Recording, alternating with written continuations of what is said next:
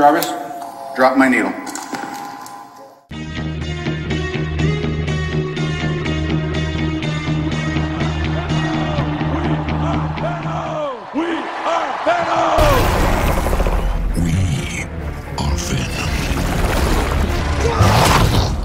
Hey, what's up, everyone? Welcome back to another episode of the Venom Vlog, and we are finally going to wrap up the Mike Costa run of Venom, uh, which was came out right before the Donny Cates run, I think like a couple months before.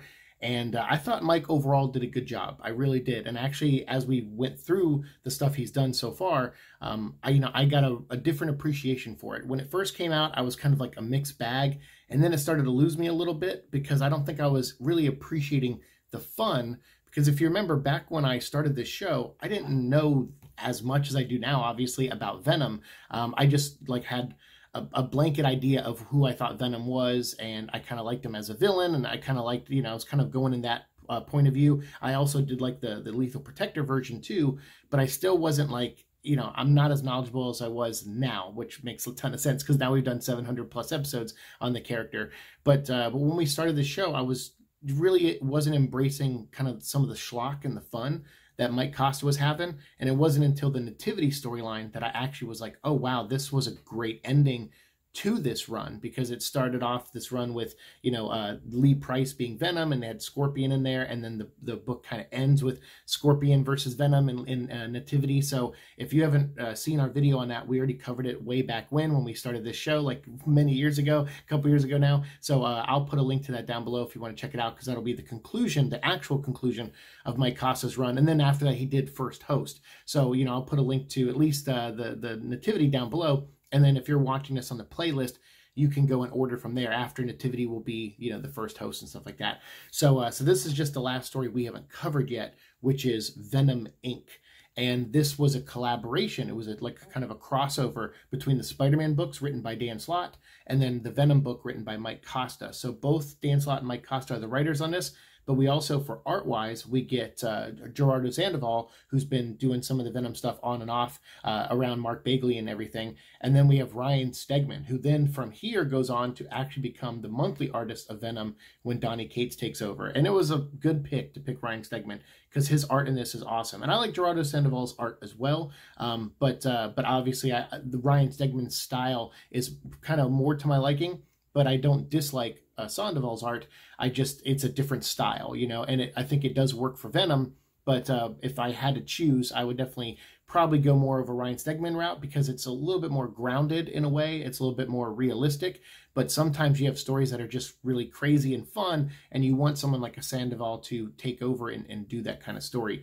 Um, so I like, you know, I think they're both have great strengths in their respective areas. Um, but combining them on this was interesting because we would go to an issue that was written by Dan Slott, and it would be, um, you know, it would have the more grounded art of Ryan Stegman, and then would go to Mike Costa, and it would be like the more fun, over the top stuff um, with art by Sandoval, and it actually kind of works. I will say one compliment I'll give this book is to the editors too, is is how this crossover comes together. It's it's pretty well done from a technical standpoint as far as like you know tone and everything like that and switching artists but still making it kind of coherent in a way I I liked that about this book. That's probably one of the biggest compliments I'll give this book is that even though there's two writers and two artists who have different styles, it blends together pretty well. Now, do I like the story overall? Eh, I'm kind of iffy on it because it brings Lee Price back and it brings him back in kind of the worst way. Basically, what Lee Price does is he, you know, breaks or gets out of jail. Obviously, we set that up in the previous, uh, Mike Costa set that up in the previous uh, issues and stuff, and we talked about it in previous episodes.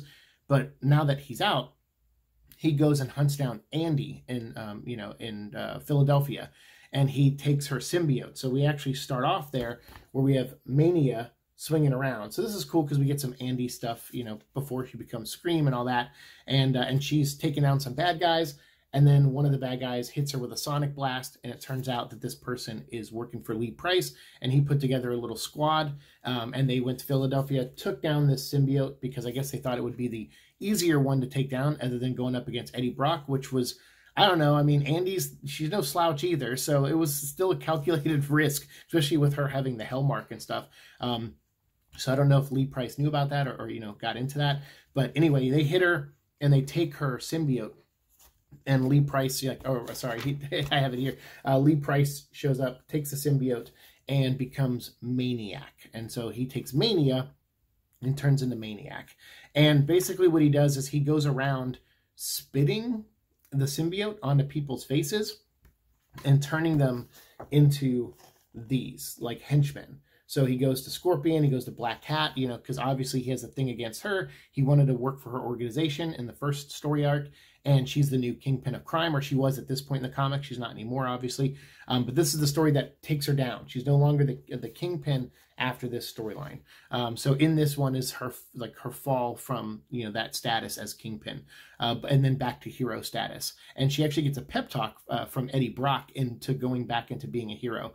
So I kind of like that because her and Eddie have a, a, a, you know really crazy past because he's he beat her near to half death, you know, and uh, and so she's always kind of hated Venom, and they're forced to kind of work together in the story. Her and Eddie Brock, and Eddie kind of in a way is forgiven by her, uh, you know, or, or they learn to move on past their pasts because he says like you know I think the city needs more heroes, and I think you could do a lot of good and he sees something in her that she hasn't seen in herself in a while and uh, and I like that. I thought that was great. And so uh, so there's there's some good character moments in this. There's some neat stuff with uh, Peter Parker, although Peter is kind of back in that mindset of like, you know what, I hate Venom, and so I'm just gonna like fight Venom. you know, like he's a monster. I need to destroy the symbiote. Like he's he's back to that very kind of uh, personal vendetta against the symbiote, wants to destroy it, and that's kind of how you know Peter is in this storyline. And meanwhile, Eddie, he's going around just cleaning up bad guys uh, in New York and stuff and, and trying to mind his own business. But then, of course, crosses paths with, you know, Spider Man and Black Cat and all these characters. So, you know, and obviously he's going to Alchemax, you know, and he's, uh, he's, you know, getting his drugs or whatever that he needs. And Flash Thompson follows him there. So, this is what all this is a setup to is basically all the things that happen. You know, Flash Thompson got the suit taken away from him. It ended up on Lee Price and went to Eddie. So obviously Flash Thompson is in New York. He's like trying to figure out where the suit is. He sees that it's back on Eddie Brock and he's curious why the suit would go back to Eddie Brock after everything and why not why wouldn't come after him. And so they kind of do like Dan Slott and Mike uh, Costa kind of do touch on that. I wouldn't say they give a solid answer to that question, but they do touch on it and kind of you know look at those characters and dissect them in that way and bring everyone together. So one thing again like I said I like about this book is kind of the tone and pulling all these elements together. So them bringing Flash Thompson in, he steals this you know card. Uh, had them having that, and them having Eddie and his relationship with Doctor Steve and everyone at Alchemax building up still is all there, which I really like. So they don't sacrifice any of the continuity that's happening in the comics. They take everything. They go, okay, Black Cat's the kingpin of crime. We're going to use that in our story. And Eddie's going to Alchemax. We're going to use that in our story. And Flash is looking for the suit. And I like that. I like that Flash didn't give up. He kept looking for the suit and was trying to, you know, find it and, and know that it's okay at least. Even if it doesn't bond with them, he wants to know it's okay. And meanwhile, while he's here, obviously Andy is, you know, taken down in Philadelphia. So when he hears about that, he wants to go back and help her. But at this point, uh, he had already uh, confronted Venom and Spider-Man. And so they get in this big fight at Alchemax. And, uh, and during this, Spider-Man sees this anti-venom, uh, you know, vat of chemicals. And he's like, wait, I know that stuff. That's, is that anti-venom? He's like, yeah, you know, Dr. Steve's like, it's a th- synthetic one. And so he goes, fine. He's like, I'll use it to help out. So he kicks the vat over and spills it all over Eddie and Flash, who are fighting over the symbiote. And the symbiote, it, it, it's confused. It's like it wants to bond with Flash because it misses him, and now it has an opportunity to get back with him. But it also likes what it's trying to rebuild with Eddie. And so it's divided. And so while it's divided, some of the symbiote is on Flash, and he gets hit with the anti-venom, sim, uh, you know, synthetic, and it bonds with the symbiote and then bonds with Flash, turning him into Agent Anti-Venom. Uh, so that's pretty cool. So I, and I liked the anti-venom story. I liked when they did that with Eddie Brock, and the big thing he did, which was he sacrificed the anti-venom suit to save everyone in New York from you know Spider Island and stuff. So the fact that it has that heroic connotation to it and connection to it and now it's on Flash is like pretty cool because Flash is a very heroic guy. So again, there's elements in this that I like, but once we get past the alpha issue and we get into this, where Lee Price starts spitting on people's faces and building his army of symbiote possessed people, it starts to lose me, to be honest with you. so that's now that we got all that set up, that's pretty much the rest of the book. The rest of the book is just Spider-Man hating Eddie and wanting to fight him, um, and then teaming up with Flash and taking the suit from Eddie and and bottling it up and you know taking it away. They end up bringing it to uh, Peter Parker's apartment, and at this point in the comics, he's dating Mockingbird, and uh, and so they're like he's living with her because he doesn't have a place to stay.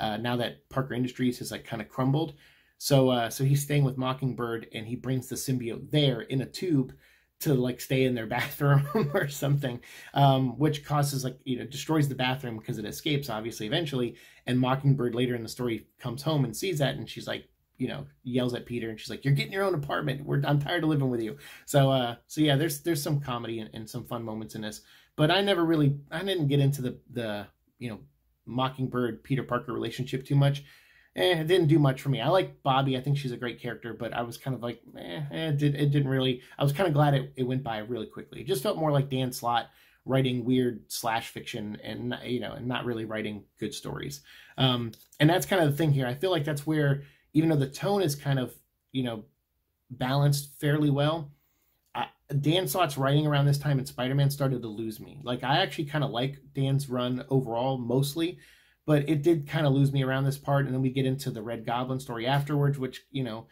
had some good moments but it didn't really thrill me too much. Um, it's usually when he teams up with um, he has another writer he uh, christoph gage uh, christos gage. When he when he teamed up with christos gage i, I like his stuff a little bit more but uh, when he writes solo he kind of loses me around this era of his comic book. Um, but up until the you know the Superior Spider-Man stuff, like for example, I really liked. Um, but then after that, he started to lose me. So this is kind of when there's moments that I kind of wince at or cringe at. It's it's usually on the issues that Dan Slott wrote. But luckily, it's got great Ryan Stegman art, so I didn't you know wince or cringe that much or too long because at least the artwork was really pretty. Um, so, uh, so anyway, so Spider-Man and Flash are, are trying to work together to take down Lee, um, and they both go and attack him, but they get captured, and uh, and then you know the symbiote, you know, kind of consents that a little bit, so it tries to break out, and it does break out of the bathroom by going through the drains, um, and then comes out the other side, and then goes around New York, um, you know, looking for Eddie Brock. And what I like is there's a there's a moment where, uh, well, first of all, Black Cat and all of her people. I saw this image earlier because it's the it's at the front of the graphic novel she gets taken over, as do all of her henchmen, Scorpion, you know, Hammerhead, everyone that worked for her. Um, but she is cognizant enough, I think, to like, you know, she goes up to uh, Flash Thompson and kisses him, and they used to date at one point too. Uh, so, so Spider-Man's like, uh, guys, this is not the time. Like, I know you're trying to rekindle old relationships, but this is not the time. Um, but it turns out she is cognizant enough to break out of the the mind control that the symbiote on her face has over her because Lee Price is basically creating a hive mind. He puts that on on you and then he can kind of influence you. He's like a voice in your head. Um, and so uh, so she has that on her, but she's able to kind of see through it a little bit and kisses Flash and the anti-venom stuff burns her symbiote off her face so she you know gets free. Um, so yeah, so that was just kind of neat showing uh, you know that she's tough enough, I guess, or her luck powers or something gave her the advantage so she could escape. And then she does that to try to help Spider Man, but uh, she's unable to. And Spider Man and Flash get beaten up by all these symbiote infected people and villains, and they get captured. Um, like I said, and that's when the suit is like, all right, I got to get out of here. So it does, and it goes down the drain and escapes.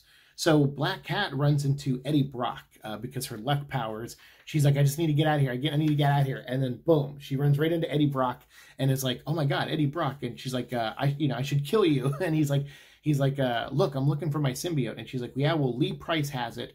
And, you know, and things aren't going well in there. And he's like, no, that's not my symbiote. Lee has a different symbiote. And he goes, but now that I'm around you, maybe my luck will change. And as the symbiote is moving through the sewers, and there's these guys down there going like, yeah, we're down here repairing a pipe, but we are told there's dinosaur people down here, but that's just a rumor. There's no way that's real. And then Venom shows up and runs past them, and they go, I, they're like, I quit. like, I don't want to work this job anymore.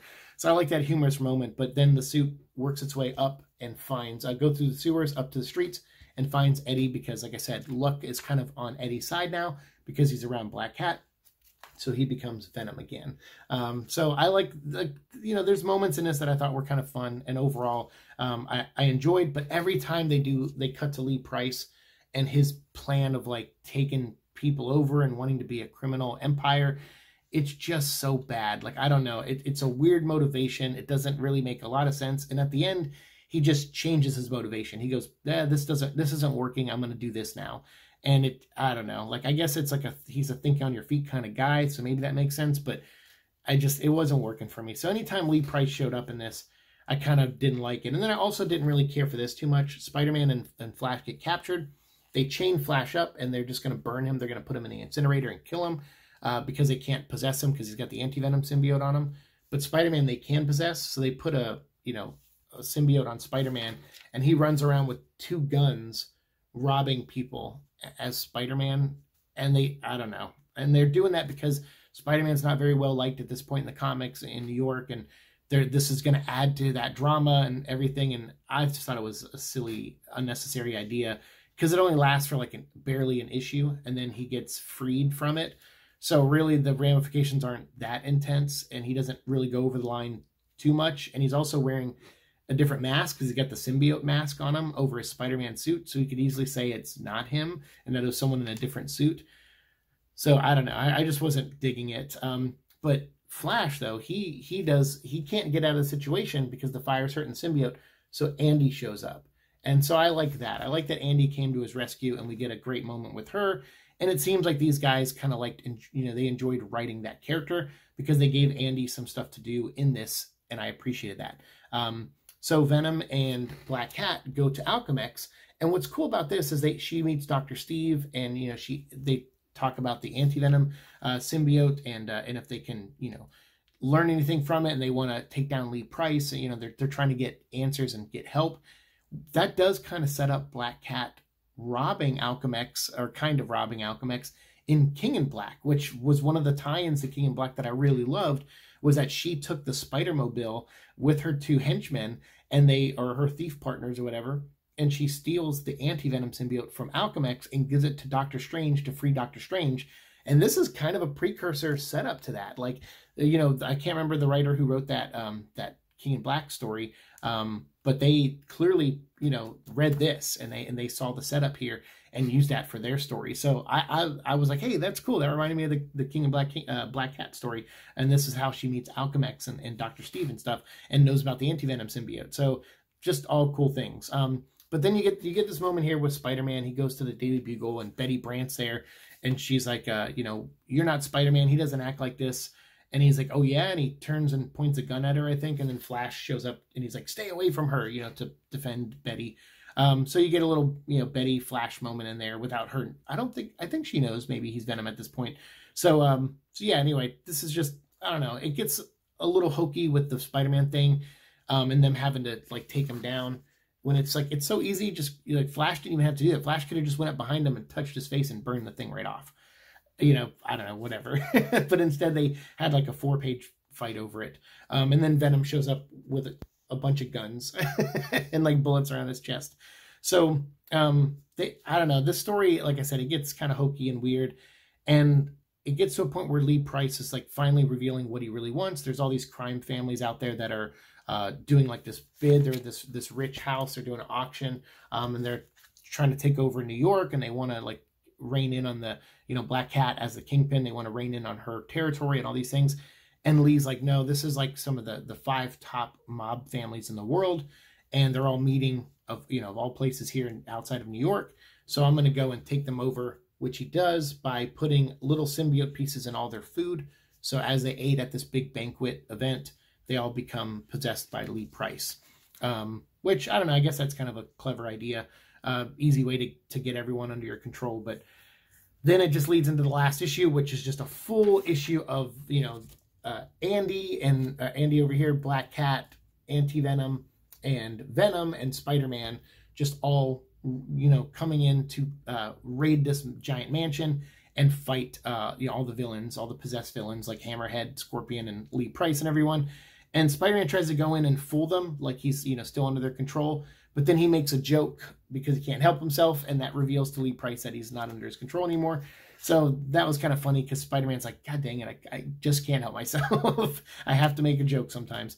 Um, but it does uh, it does lead to a big battle, and then this is where I talk about where the story just kind of gets a little messy. Where Lee Price like, I want to take over these organization, I want to take over these families, And then when push comes to shove, he gets cornered by, you know, Venom and Anti Venom and everyone's fighting him. He's like, you know what? Screw my old plan. I don't know why I, I stretched myself so thin. I'm just going to call all the symbiote spits, you know, slivers that I spit on people. I'm going to call them all back to me and I'm going to become like a super venom kind of thing. And so that's pretty much what he does. He just becomes this giant venom monster like this um, and is like, you know, it's almost like, uh, what was it? The Planet of the Symbiotes where Carnage absorbed a bunch of symbiotes and became big at the end. This is the Lee Price becoming big like that at the end. But the difference is, is I was like, but these all symbiotes came from him. Like he spit on people, and I guess there was maybe just a little bit of symbiote in there, and it, it bonded with the saliva. Like I don't know. Like I'm not really going to dissect the science. It's not really that important. But my I guess my issue was was he had one symbiote and split it up over you know so many people. If he called it all back, wouldn't he just be a regular size symbiote like Mania was? So it just I don't know. It was weird to me that the symbiote somehow grew and he was able to absorb more than he distributed. Um, so I was just kind of thinking of that. I mean, maybe there's a reason for that. So if, if you know it, like let me know down below. But I just was kind of like, oh, Carnage had to absorb actual other symbiotes. Lee just brought back the ones he distributed. So how does Lee grow in size? I don't know. Just it didn't make a ton of sense to me, but not that it matters too much. But I just it did make me think for a second. I was like, how is that possible? But um, but Lee being a giant symbiote does beat the crap out of everyone, uh, including Venom and Anti Venom, and he's he's roughing them up pretty bad. Um, like Anti Venom gets his head kicked in pretty much um, because he's obviously the, the bigger threat. So Lee Price tries to take him down first, and that forces everyone else to try to you know uh, uh deal with Lee and when where they don't have their you know their uh, basically their MacGuffin. You know they don't have their White Knight, to their anti venom to you know weaken Lee Price. Um, so that's when Andy goes, you know what? He has another allergy, which is fire. So I'm going to hit him with some hellfire. And that was pretty awesome. So again, Andy, she was kind of told, hey, stay out of this. It's going to be a nasty fight. And this guy's a trained killer. We don't want anything to happen to you. And she's basically like, look, I can't stay on the sidelines, uh, especially when Flash got hurt the way he did. So I'm going to step up and fight. And I liked, I thought that was great. And then uh, there was a great moment where Peter goes and gives a pep talk to Flash. And he's like, hey, man, you know, you got to get up. You're my number one fan. And and uh, and Flash like, yeah, like, and then you know, it, it, Peter basically Peter is just like opening up to him and saying like, you're a hero. You're all these things, and thinking that Flash was like dying in a way. And then Flash goes, okay, man, yeah, I'll be up in a second. The suit's healing me. And Spider Man's like, oh, he's like, so okay. He's like, so my pep talk didn't work. It was the suit. And he goes. Yeah, sorry, buddy. so that that was again just kind of a humorous moment that I kind of enjoyed in this. Um, while this big fight is going on because pretty much this whole last issue because they had an alpha issue and then they did like you know two issues of spider-man and two issues of venom and then an omega issue. So this is six issues all in this big trade paperback and uh, and the last issue the omega one is pretty much this big fight. It's all everyone fighting at the end black cat flash thompson. Um, they have this uh, predator moment here which i appreciated. I wish they didn't call it out. Uh, he actually says dude you're ruining this carl weathers arnold schwarzenegger moment. I'm like I wish you didn't say it. I like. I wish you didn't put that in the dialogue. It's clear that that's a predator handshake, and it's the same frame, same amount of face of theirs and everything from the Predator movie. So them saying it, I was kind of like, oh, you're kind of ruining the joke. like it's that's that's just a great visual uh, uh, nod. That's one of those moments as an editor where I would have cut that dialogue. I'd have been like, if people don't get this reference, it's fine. The people who do will love it, and doesn't matter. You know, you know, don't don't uh, spell spell it out. Um, but uh, but in the end, you know, also Eddie gets a pep talk from Black Cat and Spider Man Two, and they're like, "We need you. Like we need you in the game. You're Eddie Brock. You're Venom. This is you know, Mania is from you. We need you to step up." So Eddie does, along with Flash, and they cover Lee with the anti venom symbiote. Um, and they're like, "Take your medicine, Lee." And they uh, wipe out his uh, symbiote and, des- and destroy it pretty much. Um, well, I mean, traces of it are everywhere, so I don't know like how like it's destroyed, but anyway, right at the end, Lee, as a last ditch effort, tries to spit on Flash. He also tried to spit on Black Cat during the final battle, but it didn't work. Apparently, after you get possessed once and get rid of it, you can't be possessed again. I guess that was something they just threw in there. Um, I guess your mind is aware enough now to where you can't be hive minded by Lee Price. So basically, I think that was just their way of saying this can never happen again, pretty much. But now Lee Price is dead. He got killed in absolute carnage. So, um, so I guess it can't happen again, uh, at least by Lee Price.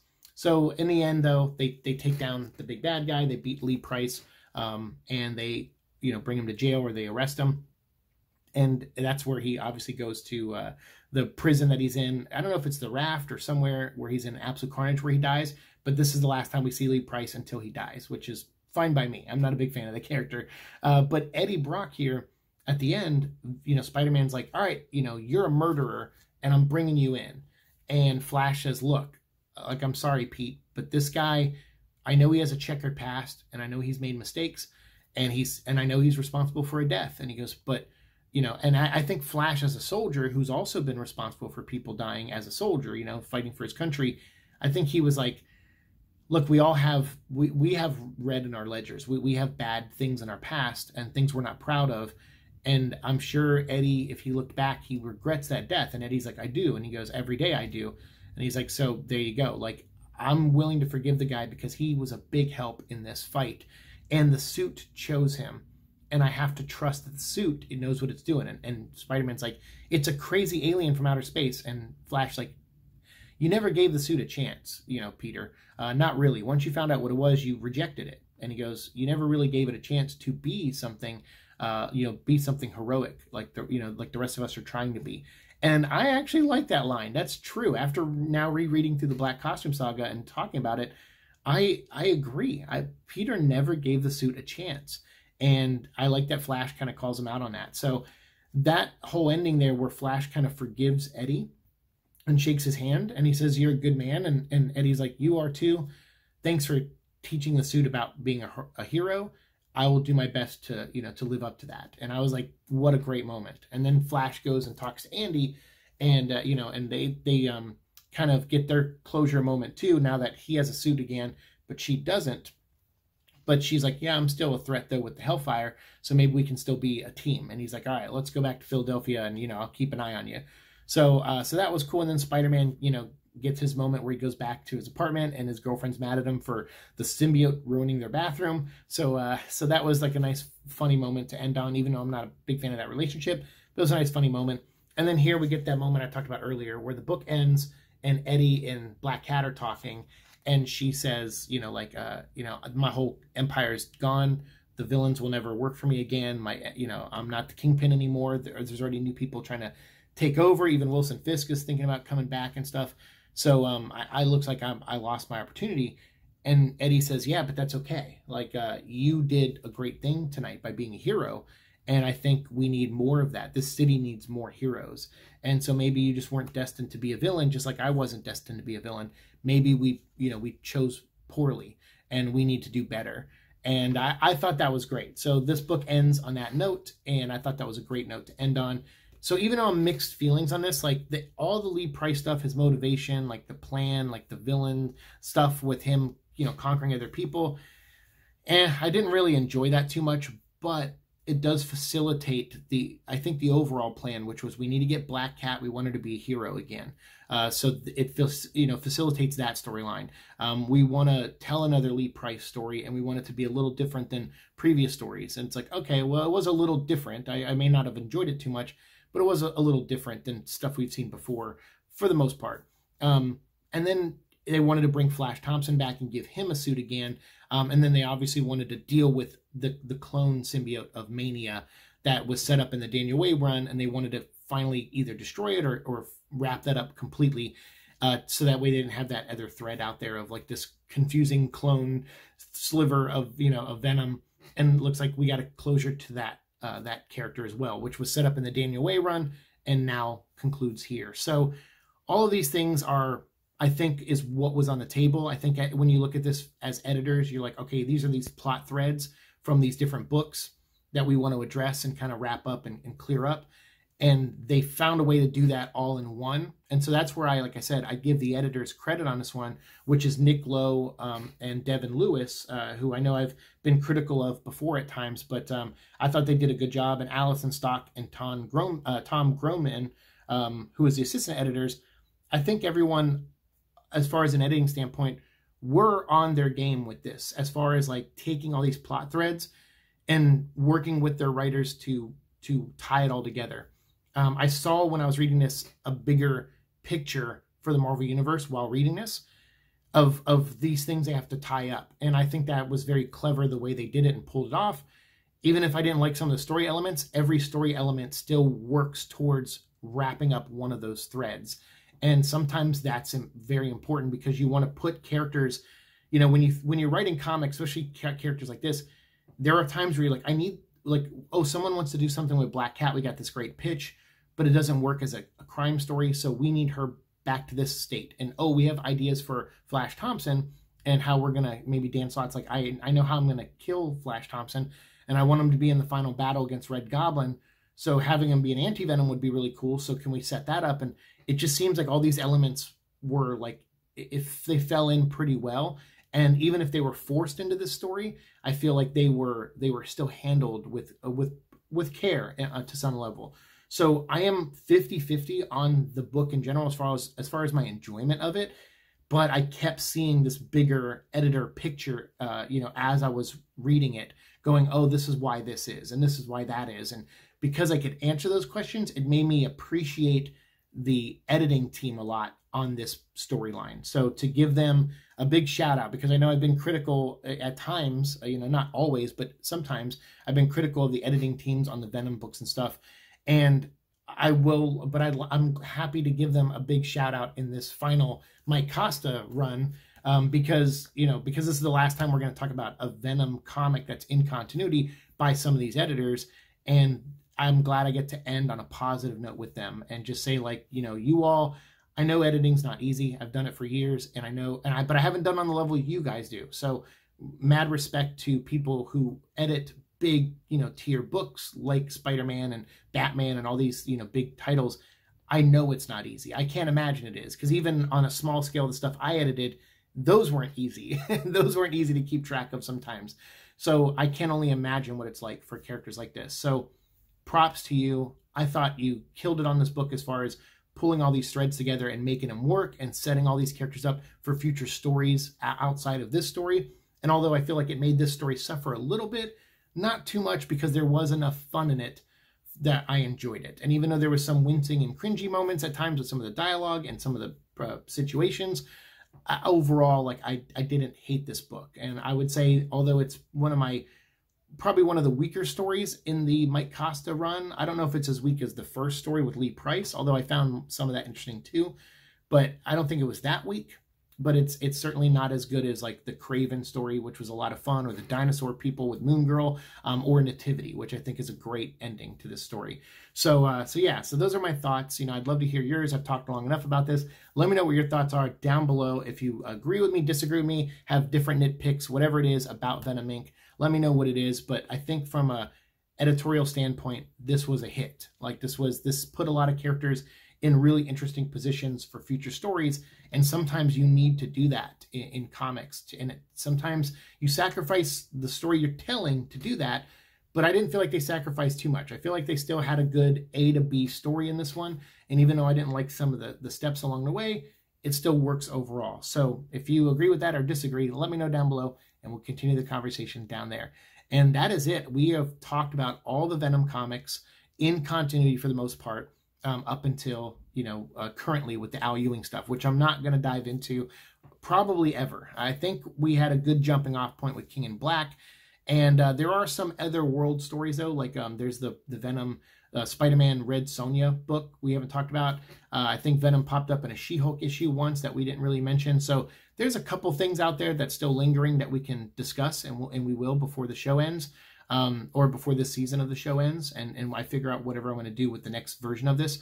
But uh, but for at least for now, like um, this is kind of an end uh, to an era of us talking about uh, major in continuity Venom stories.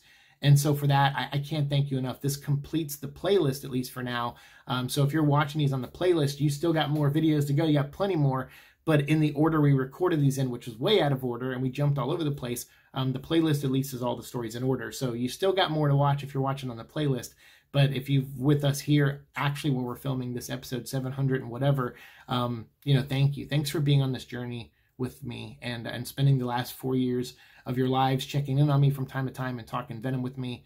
It's it's been an absolute pleasure. And this character means more to me now than I ever thought he could, and I think that comes from your your passion for him. Uh, when I started this, I was a Tom Hardy fan that just kind of knew about Venom and liked the character and had his own ideas about the character, but those ideas have changed. Now I see Eddie Brock for who he really is, and and your passion was infectious. You know, your passion spread to me and made me passionate about this character. So thank you so much for for being here and supporting the show and hopefully i can still make uh, more episodes about other world stories uh, coming up for you very very soon and we still got symbiote spider-man stories to talk about so we'll get into those soon as well. So thank you. And for now this is goodbye on this chapter of uh, this show but maybe you know we'll get lucky and, and have other chapters to add on later in the future. So i will see you in that future. Thanks so much for watching. Peace